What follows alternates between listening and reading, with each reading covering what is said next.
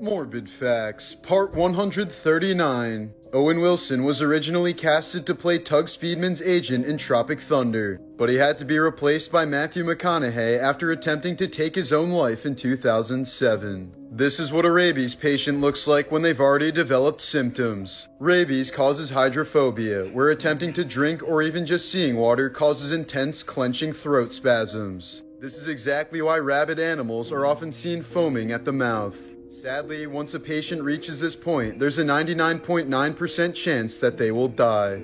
Florida puppeteer Ronald Brown was the host of a kids' TV show in the 1980s called Joy Junction on the Christian Network. But he was later found to be a vicious child predator who owned tons of CP and often fantasized in online chat rooms about kidnapping, abusing, murdering, and cannibalizing children. He was sentenced to 20 years in federal prison in 2012.